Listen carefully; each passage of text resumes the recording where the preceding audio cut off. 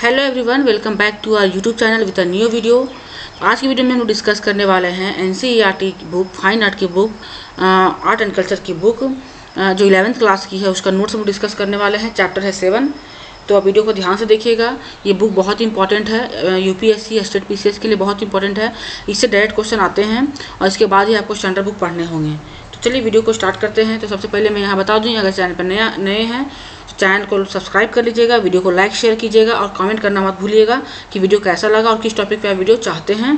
तो ये इस, इसको और शॉर्ट अप मत कीजिएगा ये ये नोट्स फॉर्म में है। इसको एज इट इज़ आप अच्छे से याद कीजिएगा समझने का कोशिश कीजिएगा मैप के साथ। तो चलिए वीडियो को आगे करते हैं हम लोग। भारतीय कांस्य प्रतिमाएँ।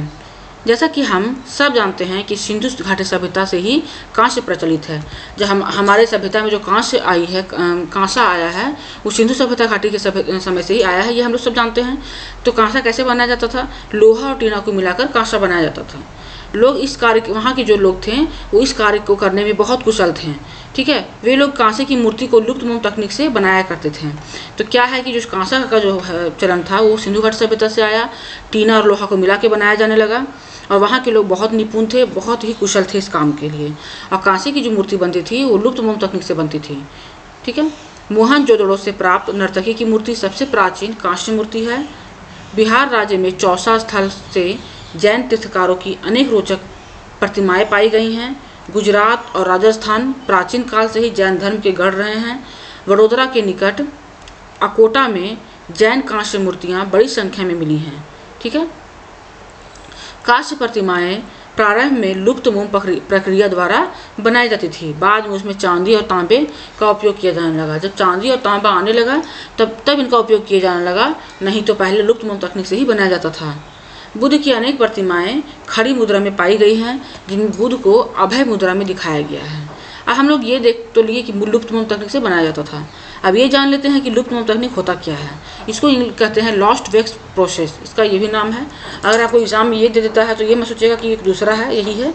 आपको अच्छे से याद रखना है। तो कैसे बनाया जाता था, ये हम लोग प्रोसेस थोड़ा सा शॉर्ट में देख लेते हैं। प्रतिमा को जो था, जो मूर्ति को मोम का प्रतिरूप हाथों से तैयार किया जाता था पहले, ठीक है? मधुमक्खी के विशुद्ध मोम से बनते थे। कैसे बनते थे? मधुमक्खी के विशुद्ध मोम से। फिर आग में पिघलाया जाता था।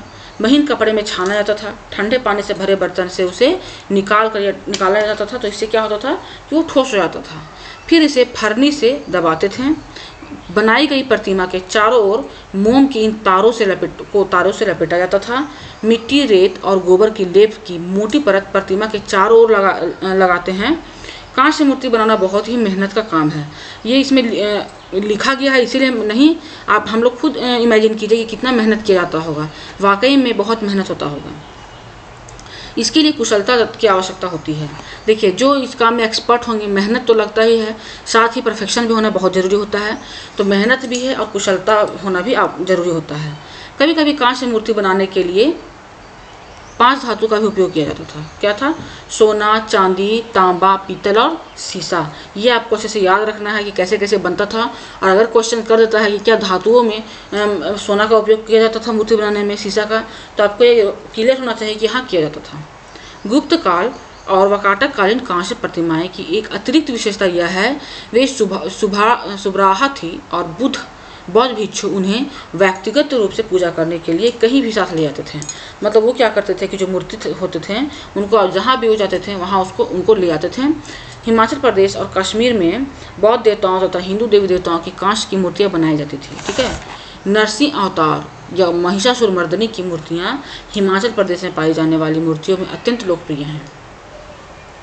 नालंदा जैसे बुद्ध बौद्ध केंद्रों में नौवीं शताब्दी के आसपास बिहार और बंगाल क्षेत्र में पाल राजवंश के शासन काल के दौरान कांस्य की ढलाई की एक नई शैली अस्तित्व में आई।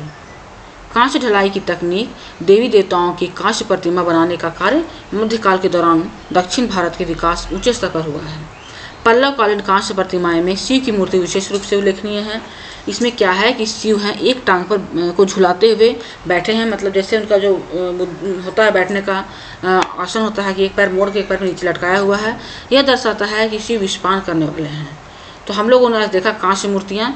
तो हम लोग सबसे पहले ये हम लोगों ने ये जाना कि वो सिंधु घाटी सभ्यता से आए हैं। लोहा टेना को मिलाकर बनाया जाता था। वहाँ के लोग बहुत कुशल थे। लोग तकनीक से बनाया जाता था। बाद में उसमें धातु भी मिलाया जाने लगा। फिर हम लोग हम लोगों ने ये देखा कि लुप्त मूल तकनीक बनाया कैसे जाता था क्या प्रोसेस होता था कितना उनको मेहनत लगता था उसके लिए क्या कुशलता की आवश्यकता होती थी फिर कौन बुद्ध के, के मूर्ति कहाँ पाए गए हैं महिषासुरमर्दनी की मूर्ति कहाँ मूर्तियाँ कहाँ पाई गई हैं एक्सेट्रा हम लोगों ने आज की वीडियो में ये देखा। तो उम्मीद करती हूँ कि वीडियो आपको पसंद आई होगी। वीडियो अगर पसंद आई है तो लाइक करना मत भूलिएगा।